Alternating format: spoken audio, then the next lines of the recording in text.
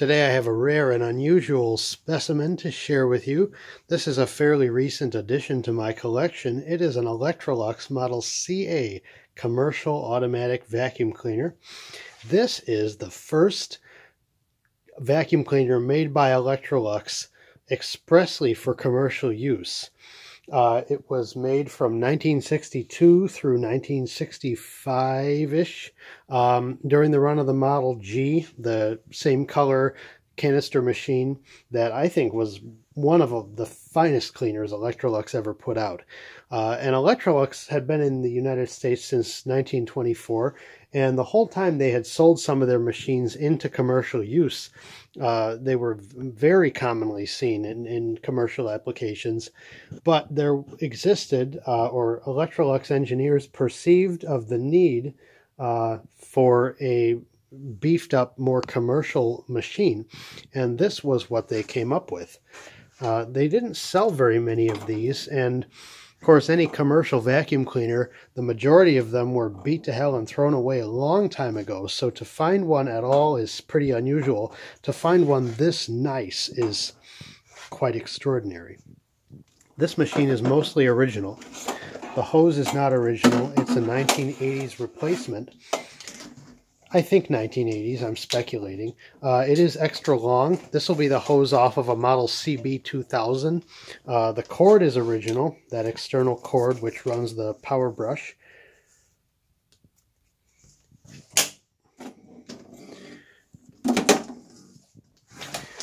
The power nozzle is a PN1, just like the one that came with the uh, Model G Electrolux.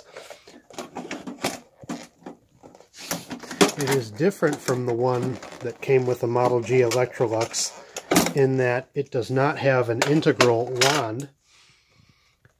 It has a two-piece chrome wand and each wand has a locking tab at the top. One of my wands has the little vinyl cover, one of them does not. Uh, and another thing that makes this power nozzle different is the small metal elbow. The PN ones that had a smaller elbow a little bit later design uh, had a plastic elbow, not a metal one. So this was a commercial only feature. Underneath this does have the original triple row brush roll. I believe this wasn't just a CA feature. I think this was either an option or it was standard at one point on PN ones. Uh, the bristles are somewhat worn down, but what are you going to do? The cord uh, you see here is not original. This is the original cord, which is open circuit. So I found one that's the same same kind of thing, but it's different color. Uh, let's see. What else is in our bag of goodies here? The extra wide floor brush all natural bristles, 16 inches wide.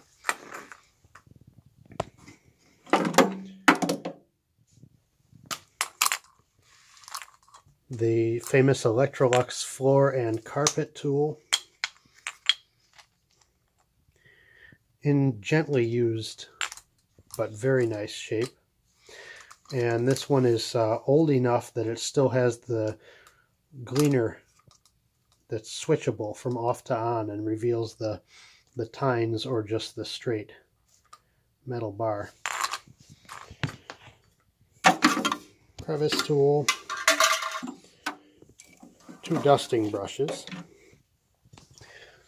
uh, one that's original. And not in too bad a shape, and then one that's not original and in only slightly less used condition. And uh, you can picture the Electrolux man showing up and selling a new hose and and then this thing at about the same time. This machine is serial number 1677 and it's rated at 700 watts. This is a fairly early CA from the run. Later machines were 535 watts. So I speculate that they had issues with the 700 watt motor and they went back to the 535 watt motor which was shared by the domestic Electroluxes of the time. This is the exhaust filter. I just released that. This is a fiberglass pad. And then the motor is in here. And there is a little blower port. So this, oh yeah, okay. Yeah, let's see how that works. You cover that up and you can plug the hose into the blower. Or you, whoops. Oh, that's not how that goes. There. All right, so then there's your blower port. It's all on a cart. Got stationary wheels at the back, swivel casters at the front, nice rubber tires. It's got an original cord with a special grounded plug. It says Elux on the plug. Apparently there was a uh, special three-prong to two-prong adapter that also said Elux on it that I sadly do not have. I also don't have the optional and extremely rare wet pickup kit that was available with this machine. And uh, I'm not really sure how that works, but let's let's move on for now.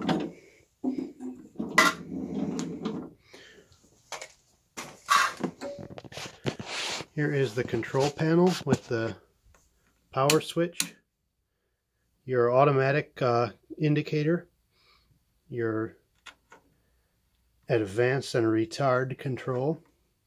Back when the word retard was didn't have the connotations that it has today, so it was it was just a word. Uh, and the power nozzle receptacle.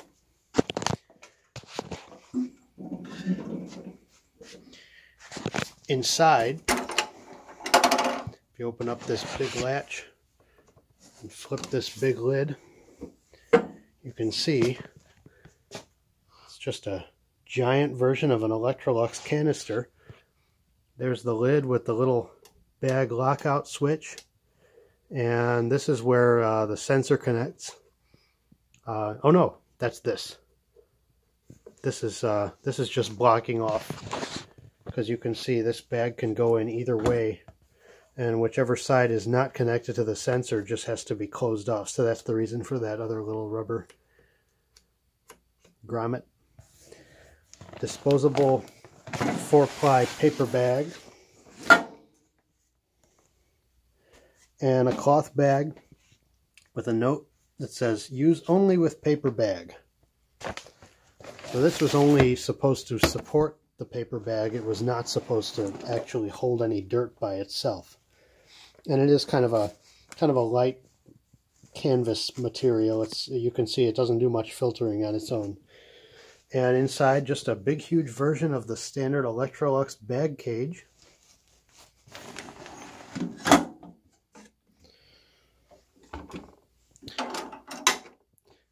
And along with this machine, which was on Facebook Marketplace, came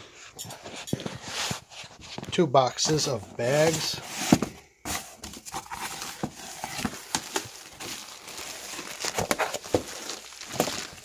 Well, I think there's like eight or nine bags in each one of these boxes and an unused turbo rug washer.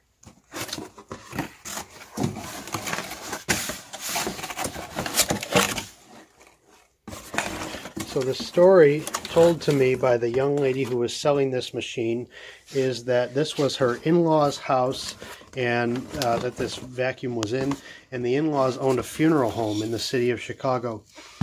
And uh, presumably this was purchased for the funeral home and used quite gently probably by the the wife herself or the owner didn't have to be the wife.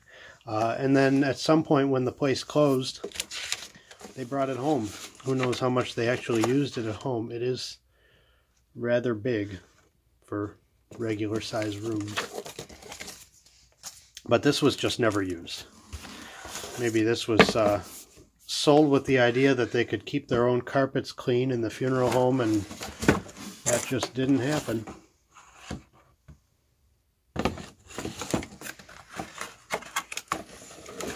Pretty neat. That fleur-de-lis they put on here.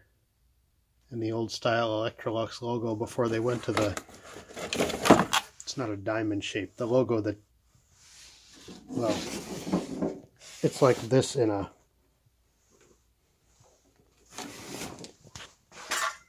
what am I saying? You all know what the Electrolux logo looks like. Oh, it's that. I always like this logo, but the old one is cool. That's on those jars. Well, anyway, uh, not very many of these were sold. Uh, the latest one that I've come across pictures of has a serial number of 7706, and this one is serial number 16 something, I think. So, yeah, they built less than 10,000 of these, I'm certain. Uh, part of the reason they were not all that popular was uh, my understanding is they had a price of $549 in the early 1960s, which is the equivalent of over $4,000 in today's money. Now, a regular Electrolux canister would be over $1,000, uh, and that was, I mean, that was a lot of money. Uh, it would be over $1,000 in today's money, rather. I think they were between one and $200 at that point. But this thing, I mean, you'd have a hard time finding people who could afford one of these. But these people not only bought one, but they took exceedingly good care of it. And bless them for that, because as you'll hear, it sounds and runs beautifully.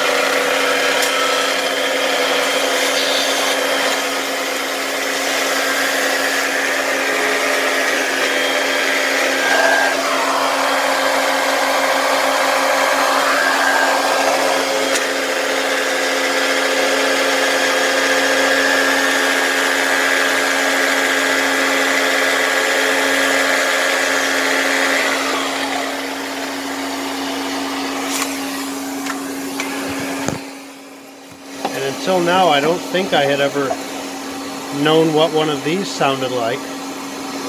It is turbine driven, but it is, uh, the gearing is reduced down. So it's not a high, well, it's a high speed turbine, but the brush itself is not going to run at a very high speed.